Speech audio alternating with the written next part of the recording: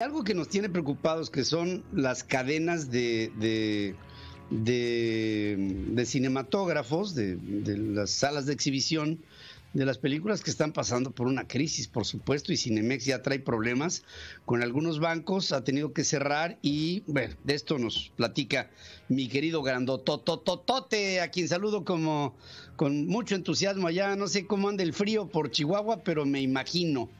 Ahí viene Pedro, ahí viene el frío, pero aquí lo agarramos, lo cachamos y le apapachamos con calor humano para que se vaya.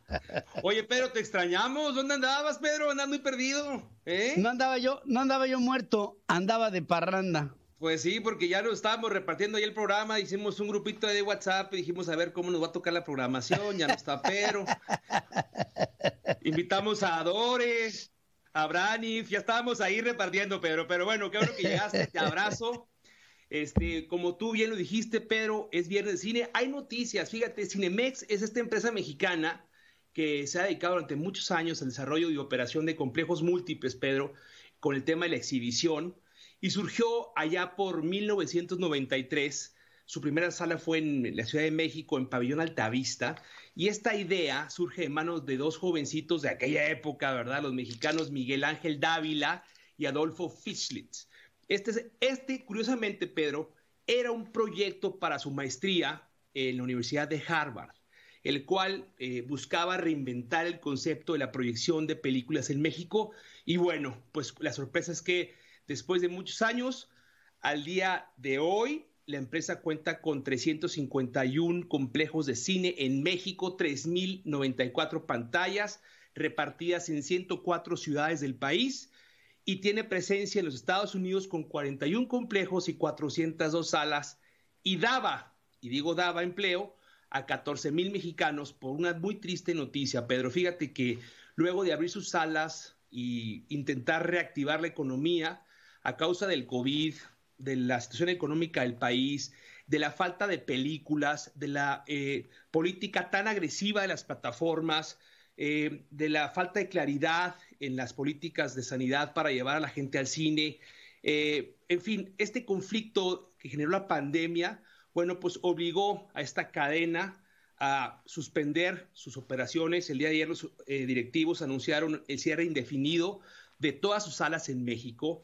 Y esta tormenta perfecta obligó a una de las ocho cadenas de cine más grandes del mundo, que es Cinemex, por lo pronto a suspender, no sabemos hasta cuándo, sus operaciones, pero fíjate algo que me llamó la atención y me gustó mucho, fue la reacción de su principal competencia, que es la cadena de cine Cinépolis, porque ellos no recibieron con beneplácito esta noticia, claro está, y lamentaron muchísimo la situación de Cinemex, que en palabras de ellos afecta muchísimo la competitividad, ya que este pique entre las dos cadenas mexicanas, pues el mayor beneficiado fue la audiencia mexicana, ¿no? Que también se vio beneficiada por un boleto más barato que en el resto del mundo. Bueno, pues el llamado es hacer lo posible, ¿no? A regresar al cine con las medidas de sanidad respectivas, ¿no?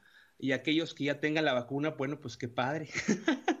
Ojalá puedan disfrutar del cine, pero la realidad de las cosas, Pedro, es que da, da tristeza, da lástima, porque este, la está pasando muy mal el cine.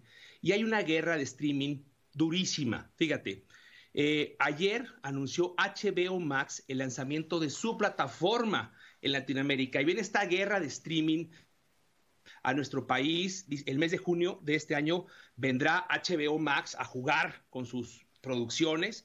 Eh, va a ser la aparición la película de Zack Snyder, que es la nueva eh, saga de la Liga de la Justicia. En ella vemos a un Jared Leto que aparece como un Joker muy oscuro. Este personaje ya generó polémica en las redes y es la apuesta de HBO Max de generar audiencia entre los jóvenes. Quentin Tarantino lanzó una declaración sobre el mejor guasón en la historia y se le da a Joaquín Phoenix y mencionó que el clímax de esa película de, Joaquín Phoenix, el guasón, es apabullante, es lo mejor que él ha visto. Sin embargo, los fans de Jared Leto esto no parece importarles en lo más mínimo, porque esta nueva cinta del Guasón ya generó expectativa. En esta producción de un corte muy negro se ve un Guasón que transita en una secuencia onírica. Esta es una versión muy psíquica experimentada por Bruce, Wayne, que revela qué sucedería si los superhéroes no lograran detener el ataque de un villano increíble. Bueno, pues están las plataformas estirando hasta donde pueden la liga para jalar a la gente que no puede ir al cine a las salas de sus casas cómodamente e pagar una suscripción en sus plataformas. Vamos a ver hasta dónde da el mercado, Pedro. Esto es muy interesante. En el Inter, este martes se dio a conocer cuáles son las producciones finalistas o semifinalistas en las ternas para la próxima entrega de los premios de la Academia y entre las categorías eh, contempladas en el listado para recibir la mejor película internacional está la cinta mexicana Ya no estoy aquí. Esta es del director Fernando Frías, al cual esperamos con para que nos platique de esta cinta.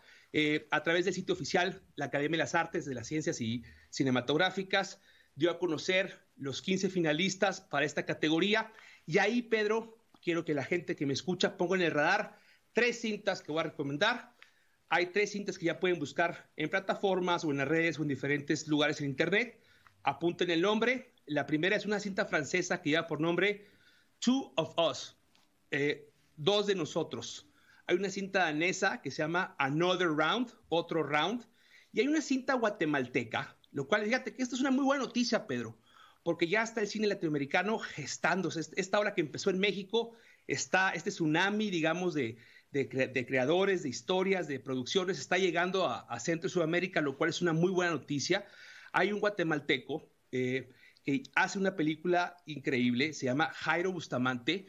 La, la, película lleva por nombre La Llorona y este es un film que reflexiona sobre las heridas del conflicto vivido en Guatemala durante la década de 1980 y reclama la verdad para los crímenes de guerra civil.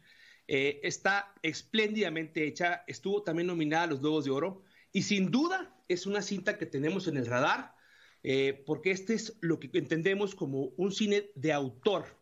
Es una película que tiene su sello, su marca, su impronta y promete entretener. Pedro, hasta aquí mis recomendaciones, Pedro. Gracias, querido amigo. Ahí me dejas una tarea muy buena y este fin de semana la abordaré con entusiasmo. Te mando un abrazo grandote. Otro fuerte para ti, jefe. Gracias, hermano. Ánimo. Ánimo. Fuerza, que fuerza. no, que no, que no panda el cúnico.